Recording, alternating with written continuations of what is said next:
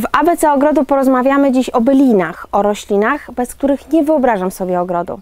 Witajcie na Zielonym Pokładzie, zaczynamy!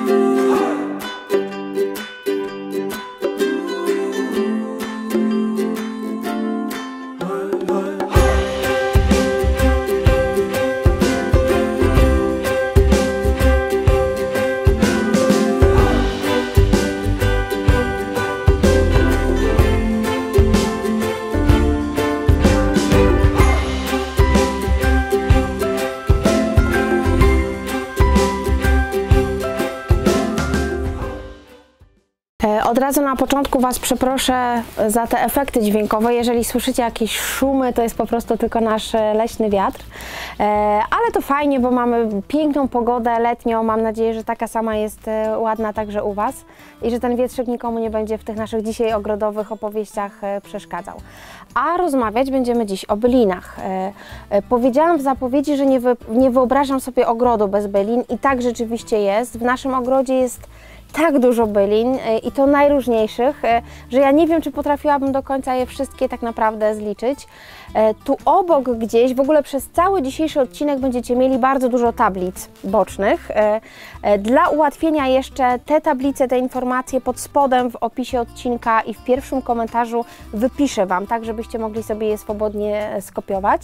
A będą to tablice dotyczące bylin i różnych ich podziałów.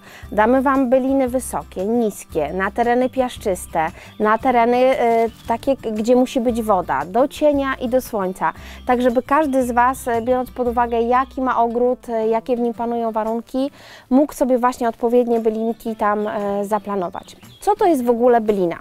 To jest, słuchajcie, tak bardzo prosto mówiąc, to jest taka roślinka, która przeżywa minimum dwa sezony wegetacyjne, która kwitnie e, bardzo często i którą się bardzo łatwo tak naprawdę rozmnaża. I zaraz Wam e, o tym opowiem. E, Byliny charakteryzują się tym, że na wiosnę wypuszczają listki. e, Tak w marcu, gdzieś w lutym jest e, gleba bez żadnych liści, tam gdzie są rabaty bylinowe.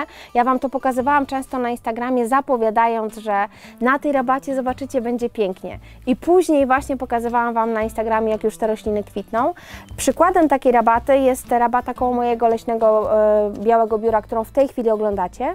Ona jest w tej chwili w fazie wzrostu, czyli myślę, że gdzieś za około 3 tygodnie te wszystkie byliny będą przepięknie kwitły. Obiecuję, że Wam to e, też pokażę. Czyli wiosną wszystko się budzi do życia, zaczynają rosnąć liście, później e, wychodzą już e, kwiatostany, a bylina charakteryzuje się tym, że późną jesienią, kiedy właśnie większość roślinek e, udaje się w zimowych sen, e, liście bylinowe obumierają. Je po prostu albo ścinamy, jedni to robią jesienią, e, ja raczej wolę wszystkie roślinki dopiero wiosną czyścić, ścinać, bo bardzo często te liście też stanowią jakąś taką ochronę przed mrozem, jak one już są właśnie takie obumarłe. I teraz jeszcze wrócę do kwestii rozmnażania bylin, do tej, o której mówiłam i mówiłam, że to jest takie bardzo łatwe. No jest łatwe, słuchajcie. Zazwyczaj byliny e, rozmnażamy poprzez podział e, korzenia, tej części korzennej, która jest oczywiście e, pod glebą. Ja to robię po prostu za pomocą szpadla, jak mam na przykład ogromną już taką funkię albo właśnie bardzo rozrośniętą bylinę. Y, szpadlem ją na pół, przekrajam, że tak powiem i mam e, jakby dwie oddzielne rośliny. Czasami nawet na trzy części. Jeśli jest naprawdę bardzo ładnie rozrośnięta roślinka, to możemy z jednej dużej uzyskać trzy e, mniejsze, które też w późniejszym czasie oczywiście nam się rozrosną.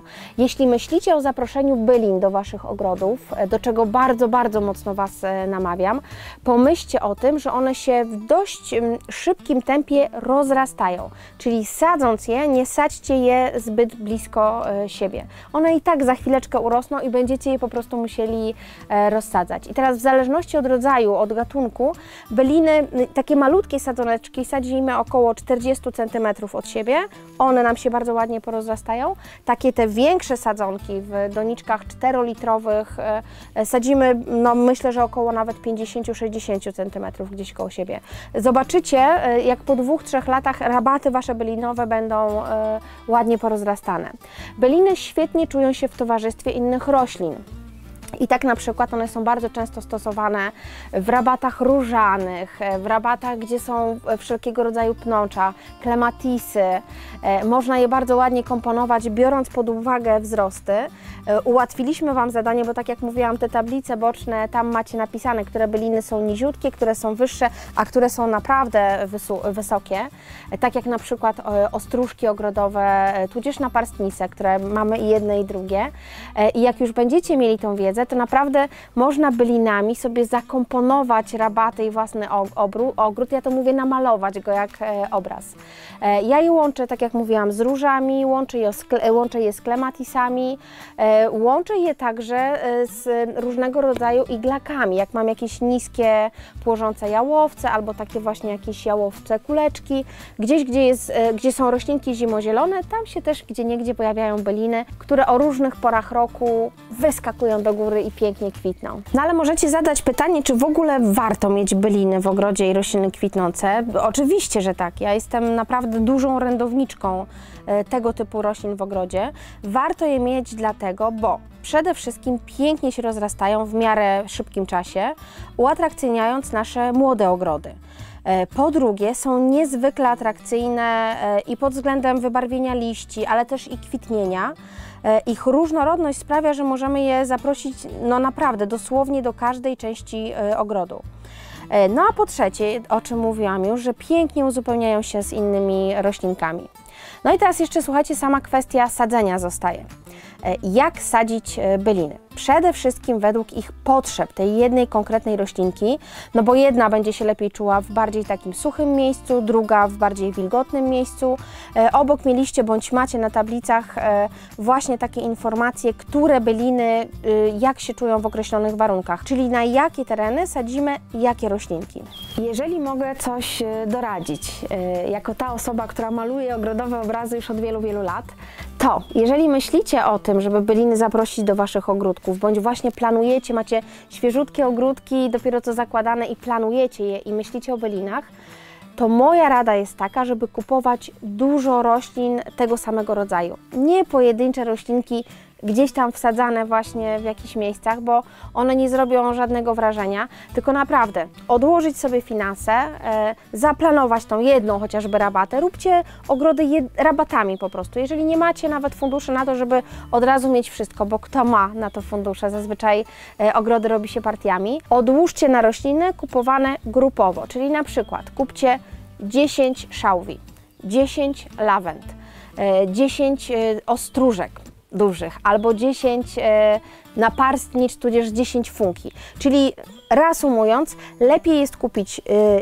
dużo roślin i je tak nasadzić oczywiście w odpowiednich odległościach, że jak one później będą kwitły, to z daleka będzie się oglądało jedną plamę kolorystyczną. Będziecie mieli w krótkim czasie bardzo fajny i wyraźny e, efekt. I druga moja porada, jeśli chodzi o rabaty z wykorzystaniem e, bylin, jest taka, że jeśli planujecie już te rabatki, jeżeli już malujecie te swoje e, ogrody jak obrazy, to pomyślcie o tym, żeby była różnorodność kolorystyczna.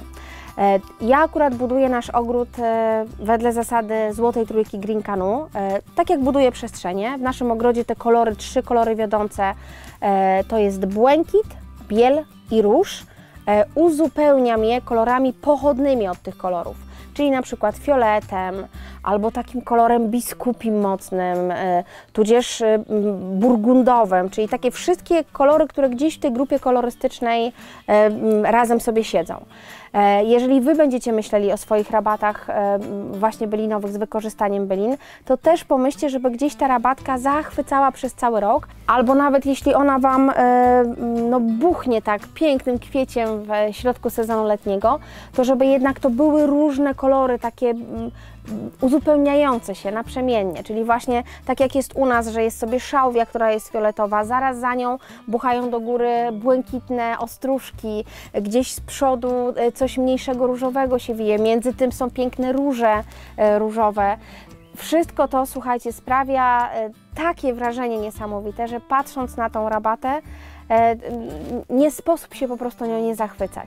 Byliny to rośliny tak różnorodne i naprawdę, e, tak jak wcześniej powiedziałam, dosłownie do każdego miejsca w ogrodzie o określonych warunkach możecie je zaprosić. Że dziś chciałabym Was bardzo po pierwsze zachęcić, a po drugie poprosić, e, żebyście jednak je zaprosili do swoich ogrodów. Na przykład też takie byliny, które są tak zwane miododajne, czyli takie, które zapraszają do ogrodu pszczółki, motyle, gdzieś sprawiają, że te nasze ogrody są bioróżnorodne.